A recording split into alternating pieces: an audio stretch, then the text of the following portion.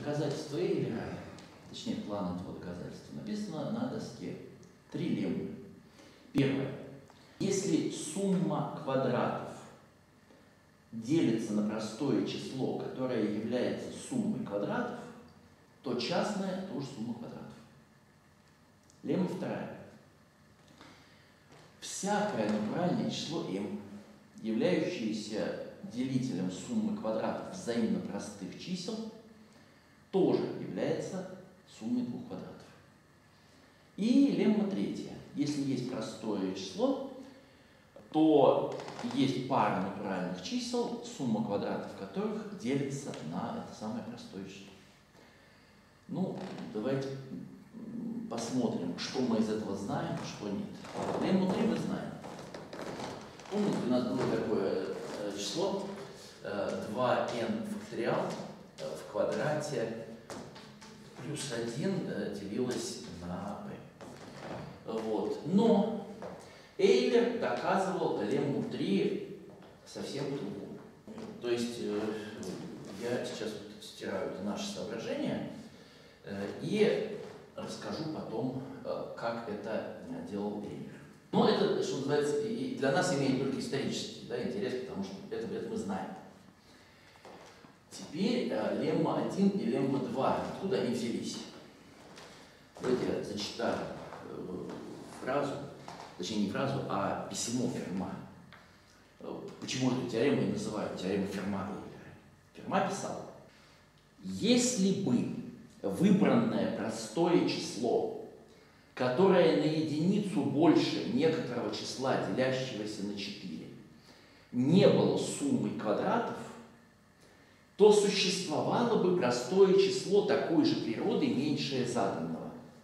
А затем еще и третье и так далее, бесконечно убывая до тех пор, пока не будет достигнуто простое число 5, которое является наименьшим из всех чисел такой природы. Отсюда следовало бы, что 5 не является суммой двух квадратов, что не соответствует действительности. Отсюда сведением к абсурду следует заключить, что все числа такой природы являются суммами двух квадратов. Вот лемма 1 и лемма 2 – это точное математическое воплощение вот этого плана Ферма. Но во времена Ферма еще формулу толком не умели писать. Вы понимаете, что Ферма эти как жили примерно в одно время, алгебраическая символика тогда только-только возникала.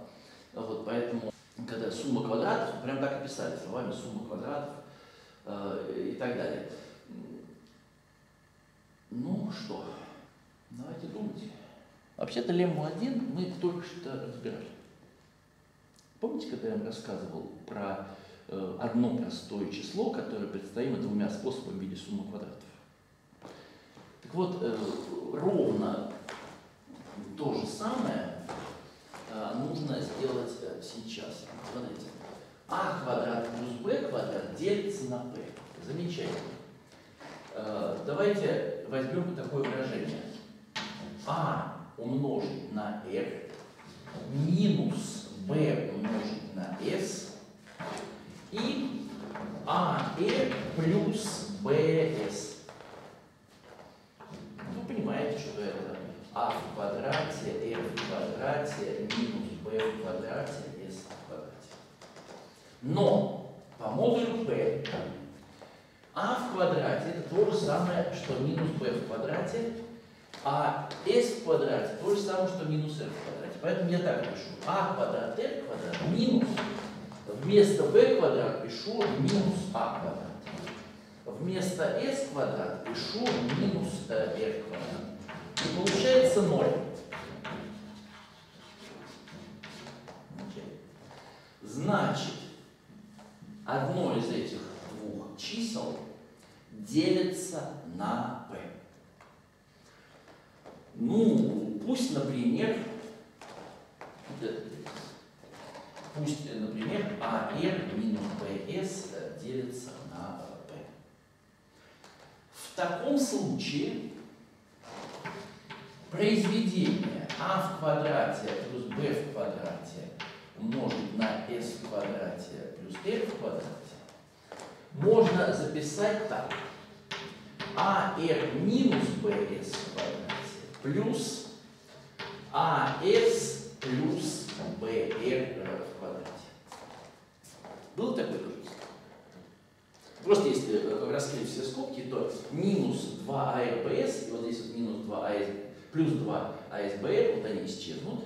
А здесь будет А квадрат R квадрат B квадрат S квадрат А квадрат S квадрат B квадрат R квадрат. Это как раз есть произведение. Отлично. А теперь смотрите. Это делится на P. Это делится на P. АР минус БС делится на P. Значит, вот это все делится на P квадрат. Значит, это делится на P квадрат. Значит, э, мы можем разделить это равенство на p квадрат.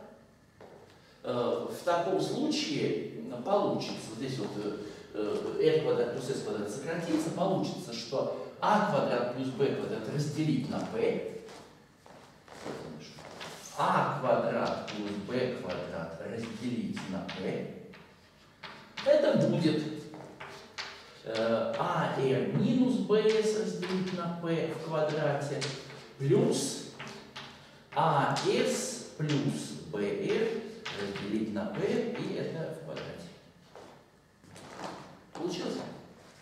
Красиво доказать, что А квадрат плюс Б квадрат делить на P сумма квадратов. Вот сумма квадратов. Отлично. Э, лемма один. Так, э, что будет, э, если делилось не вот это выражение, а это? Ну, понятно, что будет. Надо было здесь написать тогда плюс, а здесь минус. Тогда вот это с плюсом делилось бы, а значит и то с минусом делилось бы, и все как получилось. Ну вот это такая легкая часть доказательства. Теперь лемма 2. Это и есть тот самый бесконечный спуск. Вообще, э, Пьер Ферма высшим так сказать, открытием своей в теории чисел считал, что он изобрел метод бесконечного спуска. Ну, метод бесконечного спуска, по большому счету, то, то же самое, что метод математической индукции. То есть, когда предполагаем, что есть э, что-то плохое, доказываем, что в таком случае есть еще меньшее плохое и так далее, и так далее. Но поскольку совсем маленького не бывает, то все получили. Бесконечный спуск. И вот давайте мы сейчас этот самый бесконечный спуск аккуратно э, проведем. Смотрите, что здесь написано. А, у нас есть наибольший общий делитель равен Число а квадрат плюс b квадрат делится на какое-то там число m. Так? Чтобы делать спуск, я сейчас числа а и b разделю с остатком на m. Что в таком случае будет? Пусть а это сколько-то там x, э, э, сколько-то там mx э, плюс альфа. b это my плюс бета. При этом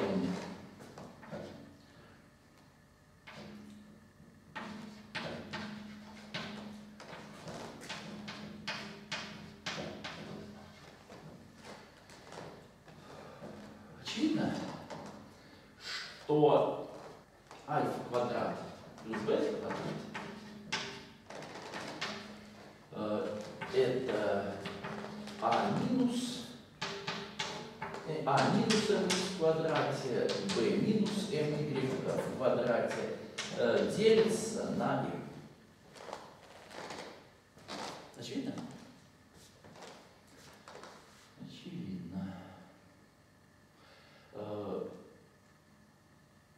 Только проблема. Эти числа уже не обязательно э, являются взаимно простыми. Потому что запросто может быть, что после того, как мы определили, э, здесь все-таки возник Э, какой-то общий множитель. Но, обратите внимание, общий множитель, конечно, мог возникнуть. Но это не может быть множитель числа m.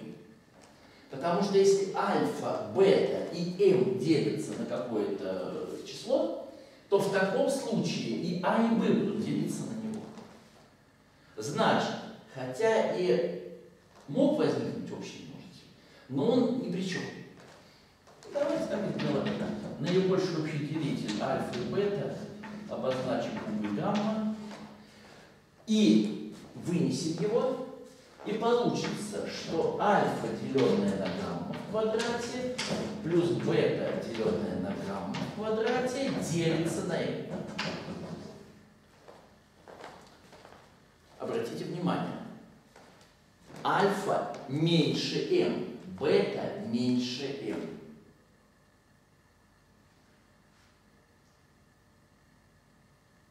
Ой, а у меня проблема. Я сейчас хочу сказать, что эта сумма квадратов меньше, чем m квадрат. А не могу. Но если бы я чуть-чуть вот в этом месте э, повел бы себя умнее, то смог бы.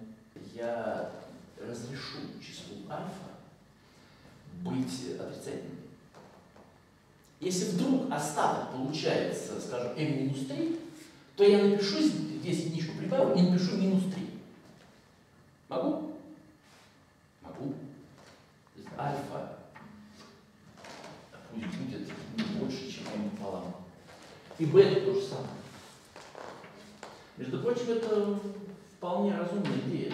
Э, очень часто не нужны большие остатки, а вместо больших остатков имеет смысл взять p минус этот остаток. Точнее, этот остаток минус p. Отрицательное число. А, и все остальное замечательно, все, все, все такое же. Но сейчас мы видим, что уже вот это вот не больше, чем m пополам в квадрате, и это не больше, чем m пополам в квадрате. Ну, если разделишь на гамма, станет еще меньше, э, и если вдруг гамма не равно единице, и вот эта самая сумма квадратов не больше, чем m пополам в квадрате плюс m пополам в квадрате, то есть не больше, чем m в квадрате делить на 2. Э, мне не так важно, что она не больше, чем пополам, э, важно, что она меньше, чем m в квадрате. И значит, я получаю такое равенство, где число k меньше, чем число m. Понятно? Это и есть бесконечный спуск. Спуск произошел. Раньше число m было делителем суммы квадратов. А теперь возникло еще число k, которое меньше, чем m. m которая является делителем суммы квадратов, причем эти самые квадраты по-прежнему э, взаимно простых чисел. Все хорошо. И мы утверждаем, что в таком случае k это сумма двух квадратов. По линии. k меньше, чем m. Для маленьких чисел мы считаем, что все знаем. Все понятно? Значит, вот это самое число k это сумма э, двух квадратов. Но даже более того, каждый простой множитель числа k – это сумма двух квадратов. Ну, потому что э, любой простой множитель числа k является делителем этой суммы. Замечательно. Теперь вспоминаем, для чего мы доказываем теорему, что было написано. Если сумма квадратов делится на какую-то сумму квадратов, являющуюся простым числом, то частная тоже сумма квадратов. Применяем эту лиму много раз. Э, число k разложили на простые множители. Поскольку k меньше m, то можно считать, что лемма верна для этого числа. Значит, каждый из них это сумма квадратов. Понятно? И по первой лемме много раз так переходим, переходим, переходим, все получается. Ну, теперь давайте про. То есть э, нам, ну, мы ее уже знаем на самом деле, но все-таки для чистой совести Давайте разберемся с третьей левой. Вот теорема Вильсона, э, ну вот это знаем. Это первое доказательство. Так? Так э, выглядит э, доказательство Эйлера.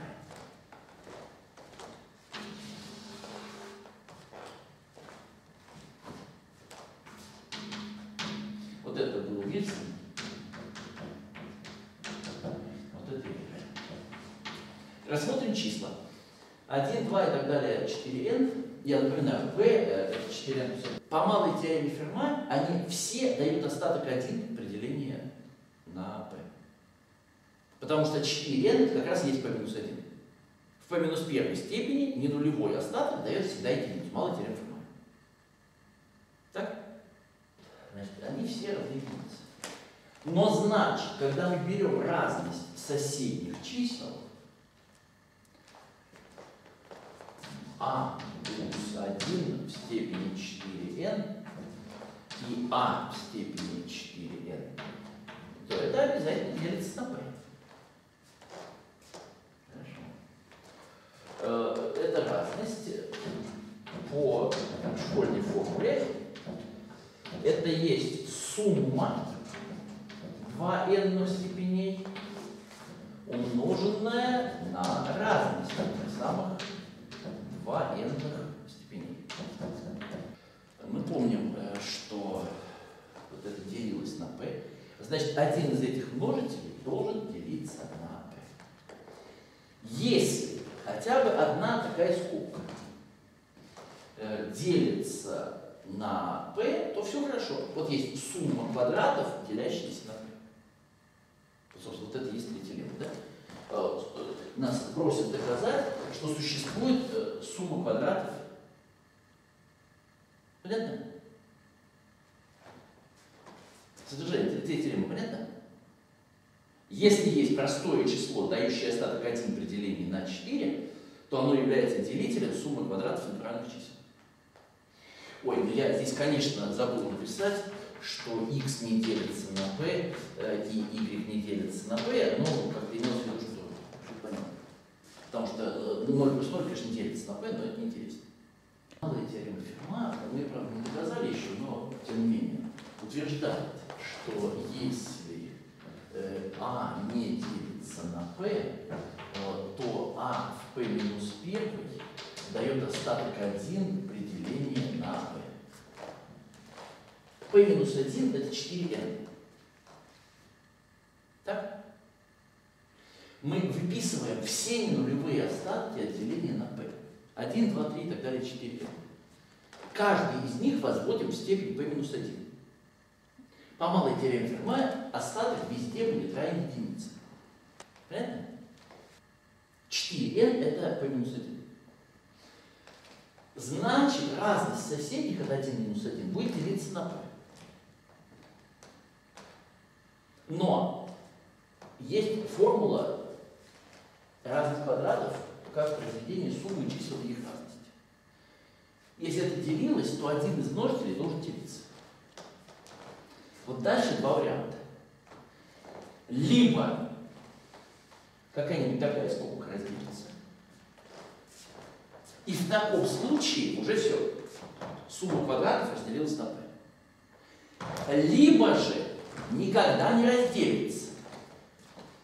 Но тогда все такие скобки должны делиться. Смотрите, если у нас можно здесь везде вместо 4 написать 2n и все время разных будет делиться, то получается, что можно написать здесь везде 2n, и все равно остаток будет 1 при делении на p. Но это не бывает. Потому что уравнение степени 2n не может иметь 4n корней. Вот э, когда у нас э, есть квадратное уравнение, у него максимум 2 корня. Уравнение пятой степени, максимум 5 корней. Если у нас э, получается, что а в степени 2n сравнимо с единицей, и вместо а можно подставлять любое число от 1 до 4n, то слишком много корней. 4n больше, чем 2n. Понятно? Ну, все, вообще-то. Вот так Эйлер доказывал третью.